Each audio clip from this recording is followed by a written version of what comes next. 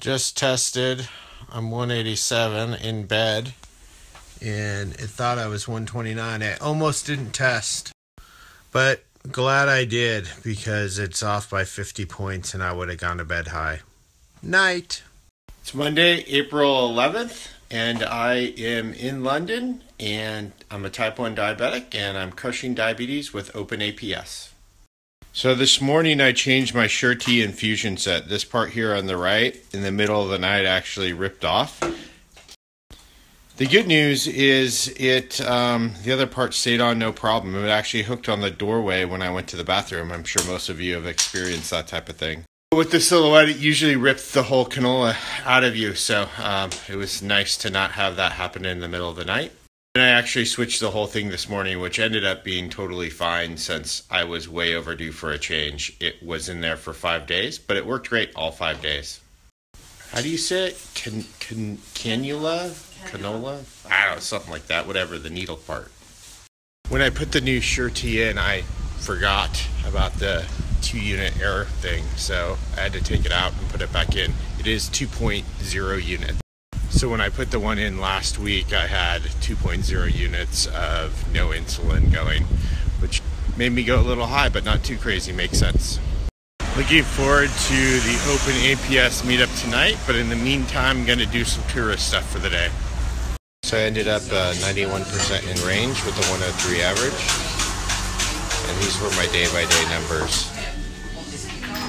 So I think that makes it the second best week ever. It was uh, pretty solid. I don't know my A1C. I think it was 5.4 for the two week estimated A1C. So I was obviously had probably more standard deviation than the previous week, but um, very, very good overall.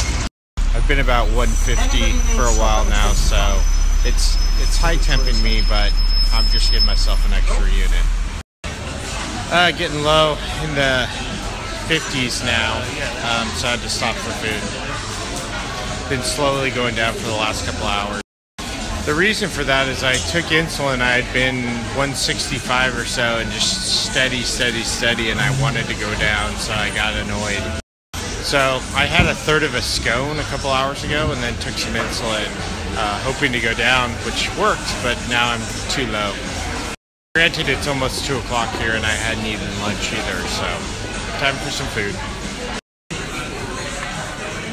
You better take quite a bit of insulin for that or you're going to hit 200 you're going to be wrong. Better than lollies, uh, dried mango, and it is 28 and a half carbs.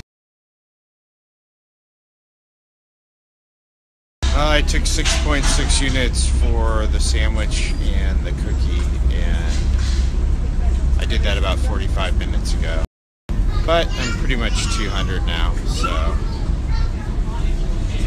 Also, I know advanced meal assist is not working because I have it at the very end of my loop after the upload, and I'm not uploading since I'm in offline mode.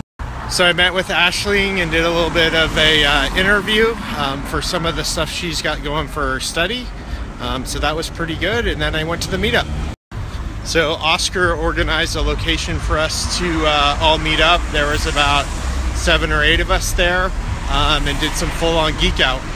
Did all the different hardware setups everybody had. Um, also got a look at HAP for the first time.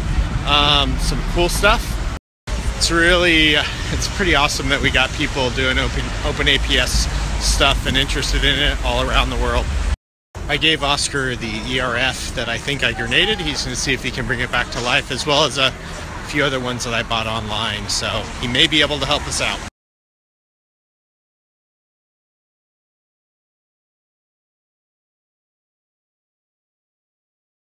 So wrapped up the night having some pad thai, which I started at 70 and did a pre-bolus anyways about 20 minutes beforehand. So I didn't actually drop any lower than 70, which I was, and then my blood sugar started to rise up to about 126 is what it is now. And seems like it's flattened out. Um, and that's uh I guess that's it for tonight. Good day.